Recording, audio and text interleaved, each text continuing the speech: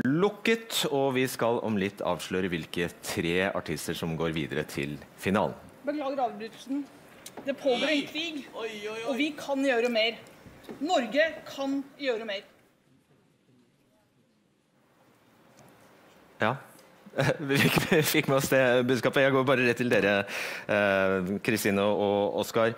Eh, du skal slippe å synes noe om dette her, men eh,